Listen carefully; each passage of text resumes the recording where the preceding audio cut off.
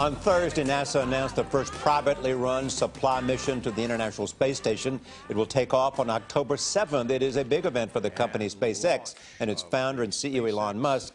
He's also CEO of Tesla Motors, the electric car company. Business Week magazine calls him a 21st, a 21st century industrialist and a throwback to business legends like John D. Rockefeller. Elon Musk is with us now, and I'm pleased to have him here. Let me talk about what you're going to do in space. Sure. Um, what's going to happen in the next several years?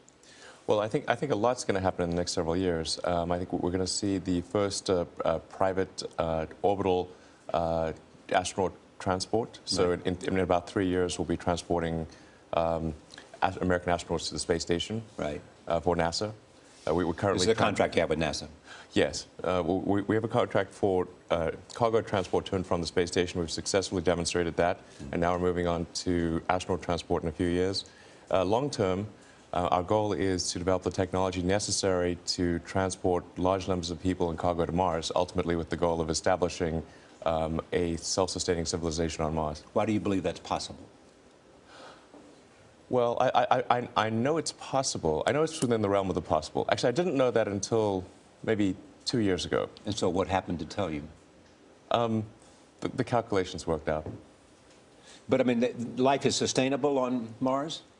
Well, you'd need to live in a dome initially. Yeah. Um, but um, uh, over time, you could uh, terraform Mars to make it like Earth and eventually you could walk around outside without anything on Mars. So it's, it's, a fixer-upper of a planet. I want yeah, to, yeah. Exactly, it is. It is.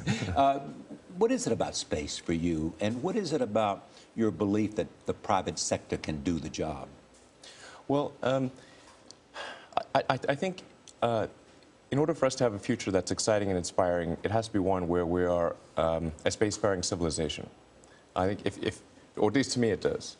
Um, and I, I think we, we, want to get out there. We want to be on, on, on multiple planets. We want to make the, the, things that we've read about in science fiction books and seen in movies become a reality. Mm. Um, that, that's the kind of future I think is very exciting versus one where we're confined forever to Earth. Mm. So um, I think we want to be on a path towards making that happen. What, what's happening in the electric car market that you have been a pioneer in? Well, with, with electric cars, the, the, the, real trick is to make electric cars so compelling that you want to buy them um, over a gasoline car, even, even if the price of gasoline is not high. Um, so we, we, have a fundamental issue because the price of gasoline should be much higher than it is if, it would, if, if, if, if the price of gasoline reflected the true cost of gasoline mm. in, in, terms of the damage to the environment, it would be much higher. But since it does not, uh, we have to make really compelling electric cars. That's what Tesla's about. Tesla's about accelerating the advent of electric cars. And why did you shift to uh, emphasis on a sedan from a sports car? Well, a sedan is, is a, it can access a much broader market. Right. Um, and uh, it, it's really about making the mass market electric cars affordable. So we started off with a low volume, high priced car. Then, then step two was a mid price, mid volume car. And then step three will be a low price, high volume car.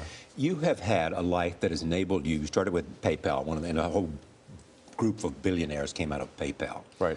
Uh, and then you have gone from success to success. What is it that enables you to dream like this and make things happen? What's the secret to you? Um, I don't know. I, I, uh, I, I, I, think. Uh, is it dreaming and believing, uh, or is it implementation of ideas? Well, I, I, think I think most people reason by analogy. And I, I, I try to reason from first principles, sort of it's a physics approach to reasoning. Yeah. I'm not sure if that makes any sense to people, but essentially, the, if you want to figure out something new, it's best to start with the, the most fundamental principles, this, the things that seem to be the, the most fundamental truths in something, and reason upward from there, as opposed to reason by analogy. Yeah, I get. I understand. Okay. You know, I, I, ask often who is the next Steve Jobs. You know, and, and a lot of people suggest Larry Page. People like Jack Dorsey. Uh, my friend Andrew Ross Sorkin said, uh, "It's probably you." Well, it's kind of Andrew to say that. nice to have you here. Thank you very much.